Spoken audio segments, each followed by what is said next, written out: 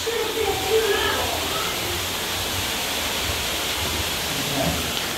look! Look at that guy in the goofy mask! Uh, that's not a mask. Oh, sorry, lady. Oh, you're saw a great-looking lady. Yeah, baby, yeah. Oh, behave. Shakespeare would have hated that. You should know, you dated his sister. Boy, was she ugly. And you are very drunk. Yeah, but in the morning, she was still ugly.